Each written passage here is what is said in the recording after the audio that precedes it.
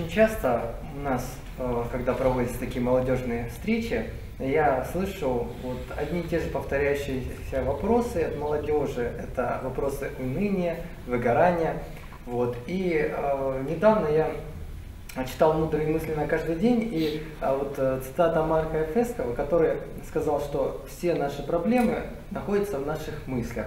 И вот я так задумался, думаю, действительно ли вот эта цитата, она такая всеобъемлющая, и не нужно ли ей чем-то добавить или поразмышлять над этим, и действительно все ли так просто вот, в нашей жизни? Вопрос. Спасибо. Видите, вопрос о мыслях. Да, вопрос о мыслях. Один из, один из святых сказал так. Мысли могут сделать нас лучшими, но могут сделать и, употребил он такое слово, непотребными, то есть негодными.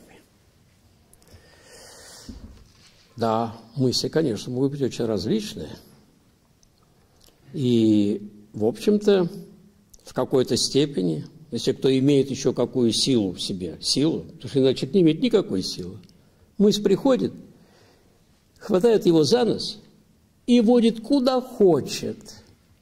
Захочет какую-нибудь грязь уткнет этим носом. Захочет в мир мыльных пузырей, пузырей погрузит его, да куда угодно. Представляете?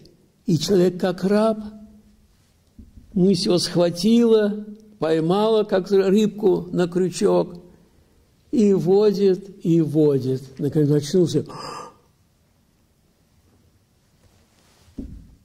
Я однажды, помню, был такой случай, был разговор с одной дамой, говорим, что ну все-таки с мечтами надо быть осторожными. Что вы говорите? Ты, я, я не могу не мечтать. Это же так, что я мечтаю только о прекрасном и все. Ну, ну, дискутировать по этому поводу было, конечно, невозможно. Мысли выражают, наши мысли выражают состояние нашей души, которое мы часто не видим. Не видим по какой причине? По очень простой. Я, например, на весь мир все время хвастаюсь, но чувствую еще пока не всех убедил, что я лучший в мире – но пока, пока еще не все согласны почему-то. Ну, никак уж не знаю. И говорю, что меня только нужно живьем канонизировать. Ну, насколько я хорош. Но только не вздумайте тронуть меня. То тогда вы вдруг отскочите. Скажете, ужас какой! Боже мой! Каждый человек, знаете, подобен после дождя лужица. Все успокоилось идете, светлая, кристальная, чистая водичка. Ну, просто можно прям взять и пить. Но возьмите палочку и пошевелите по дну. Ужас, какая муть-то, боже мой! Какая муть в этой лужице оказывается, какой там пить. Там руки помыть невозможно даже от этой грязи. в нас, в человеке, то же самое. То же самое.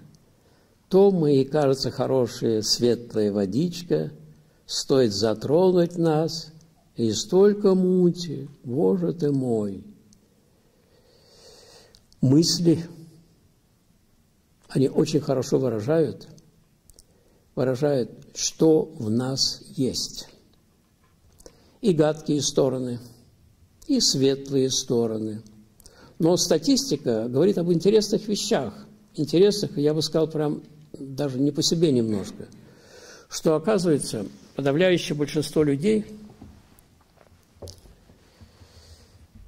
мыслят о вещах совсем не прекрасных, совсем не, не счастливых, не, не, как раз не об этом о каких-то вещах, которые приносят страдания, каких-то бедах, какие-то переживания, какие-то неприятностях, о, о нехороших мыслях по отношению к другим людям, другим людям, неприязни всякое, или тщеславие какое-то, или гордыня.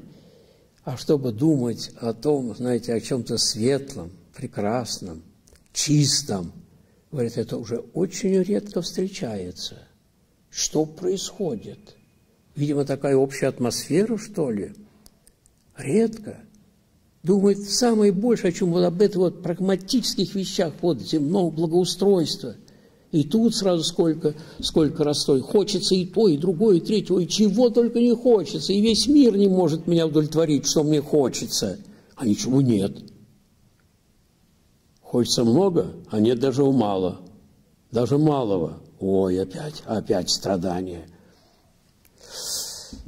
Так что верно, мысль – это своего рода лакмусовая бумажка, которая показывает мне на то, что во мне есть. Да, может быть, и бывает и светленькая водичка, но мути сколько. Ой, ужас. У Достоевского, знаете, в его романе «Униженные и оскорбленные» один персонаж, по-моему, генерал говорит – о, если бы только открылось в человеке то, что он никогда не расскажет всем. Не расскажет. Если бы открылось, не только что всем не расскажет, а никогда не расскажет даже своим друзьям. Не расскажет даже, даже своим самым близким людям. Даже себе, о, если бы только это открылось, пишет он, Федор Михайлович Достоевский, то в мире бы такое стало, что только задохнуться можно было бы. Здорово написал. Но я этого не хочу видеть. Во мне это все есть. Но я не хочу это видеть. Я хороший, и все. Вот так. И никому не скажу, что у меня есть. Видите, до чего я хорош? Никому не скажу. Христианство призывает к чему? Скажи себе самому. Скажи. Посмотри на себя честно в зеркало. Зеркало совести. Посмотри. Осознай это. Увидь себя. Если у тебя есть хоть капля христианской веры, покайся. Во-первых, перед Богом покайся. Во-вторых, перед священником покайся. Сними с себя этот груз, эту гирю. Не держи в себе этот, этот нарыв под кожей. Убери его. Вот к чему призывает христианство. А мы, как правило, что только оправдываемся – только оправдываемся. И не хотим думать даже о том, когда сделал что-то плохое, худое, вместо того, чтобы сбросить это с души, очистить эту грязь души, держим в себе эту пакость. Зачем? Христианство предлагают уникальные средства, которого, кстати, не знает фактически ни одна религия – покаяние – он Иоанн Кронштадтский, наш изумительный праведник начала XX века. Он, он открыто прям писал, прям открыто писал. Вот опять я на эту кухарку разгневался, я обругал ее, и все, что она пережарила там что-то, или не дожарила, не досолила. Он вспомнил, что я делаю. И обратился к Богу моему. Прости меня, Господи, да что же это я делаю? И пишет, что – и Бог тут же ответил мне, вновь я ощутил пространство в своей душе. Господь тут же готов простить, снять эту грязь. Найдите-ка такую религию. О, снять это, снять это расстройство, этот гнев, это часто несправедливость, неправду, которую мы творим. Есть эта возможность. Эта возможность называется покаянием. Перед Богом, перед Богом. А в самом чем-то такое уже важном можно и перед священником. Но перед Богом надо. Вот соврал, да что, Господи, прости меня, ну что же такое? Ну зачем наврал-то? Ну, похвастался? Хорош. Пуп земли. Правда же? Вот в чем призывает христианство. Человек, не мучь себя. Не мучь. Зачем ты себя мучаешь? Этой всякой гадостью держишь ее у себя. Не мучай себя. Кстати, вы знаете, что такое грех с христианской точки зрения? Грех – это та рана, которую человек сам себе наносит. Заповеди, вы что думаете, это закон от Бога, да? За который он наказывает, что ли? Ошибаетесь. Ни на йоту даже этого нет. Заповедь вовсе не закон от Бога, который, если ты нарушишь, что тебе тут же а-та-та. Вовсе нет. Заповеди – это предупреждение. Человек, не режь, не кали себя. Не ходи там, где ядовитые змеи. Не ходи по битому стеклу босиком. Заповедь – это предупреждение и только. А наказание? Наказание? Угу, хорошо. Тебе сказали, тут собаки злые, не ходи, а ты пошел. Ну вот, теперь искусанный и бежишь. Кто наказал тебя? Бог наказал, да? Тебе родители сказали, не ходи туда. Вот и пришел, порванный, не только одежда, а еще и ножки, ручки. Слышите? Заповедь только предупреждение.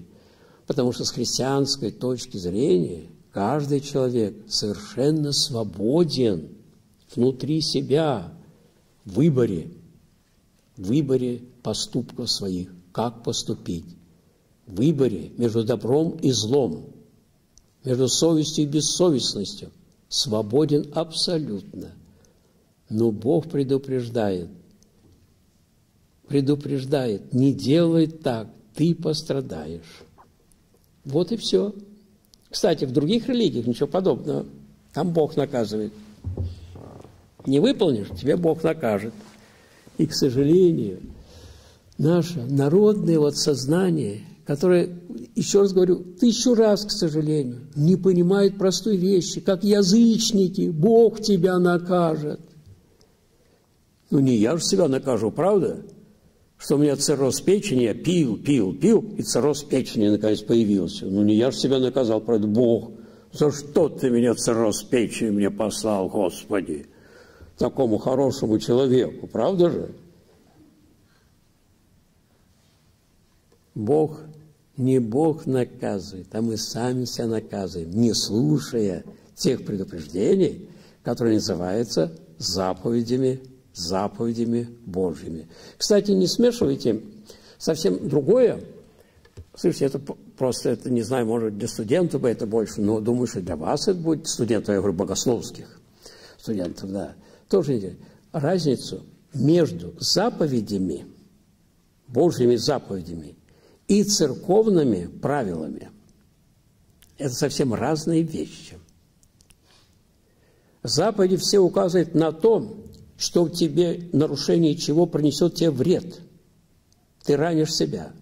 Церковные правила указано на то, как лучше поступить и вести себя, чтобы меньше согрешить. Чтобы меньше согрешить. А может быть, не согрешить даже вообще. Вот церковные правила говорят, например, собирается человек, ну, к исповеди, причащению, говорит, хотя накануне – хотя один день.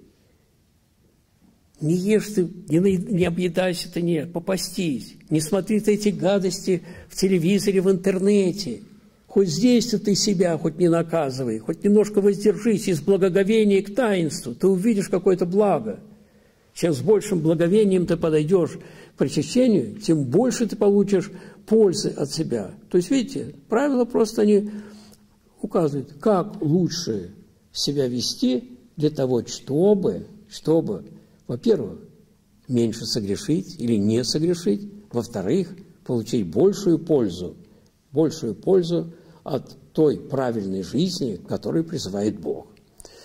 Вот так. Ну ладно, это вот о, о мыслях. Видите, как долго. Ой, Боже, как я долго говорю уж. Вы извините меня, да. Вообще, я вот тысячу раз на лекциях повторяю.